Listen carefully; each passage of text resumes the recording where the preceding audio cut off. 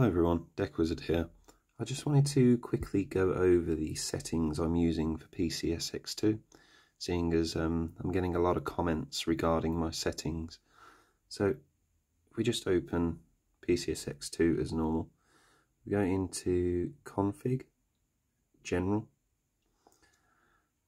and you can see from GS window on the side, which it loads into, these are my settings at the moment.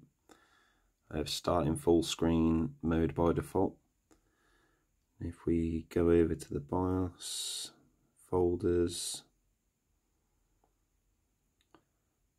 um, they, these have not been changed at all.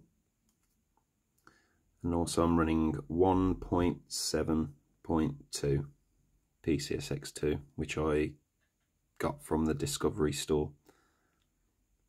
I did find better performance on 1.6, although I'm not sure if that's the case. I will be downgrading to 1.6 later. But for all my recent videos, these are the settings I've been using. Also on Speed Hacks, you can see MTVU. Selecting that does provide you with better performance in your games, I've generally found. If we go into game fixes, there's nothing there for us to select. So we'll go OK. And lastly, we'll go into graphic settings. And as you can see, renderer should be on Vulkan.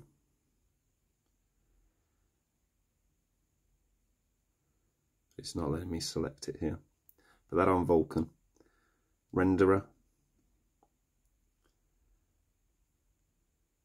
These following. Go into hacks.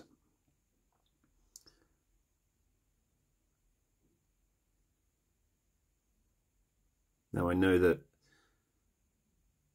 enabling this does fix some problems with some games, like Chaos Legion for example that has yellow lines that appear on the screen and enabling the manual hacks does fix that.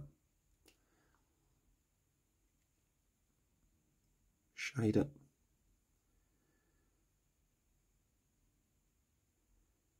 You can have your FPS showing in your CPU usage, but it is really small. And there we go. So like I said, just make sure to change your renderer to Vulkan unless you've gone on the PCSX2 wiki and there is something there saying that OpenGL works better. So we'll click OK and then from there you can boot your ISO as normal. I hope this quick video has just been helpful for anyone struggling to get their settings correct on games and I mean there are settings that I could probably use that would make my games run better. Um, if anyone knows of or is quite well versed in PCSX2, uh, just leave a comment below and I'd love to have a chat with you because I'm always learning with this as well as everyone else.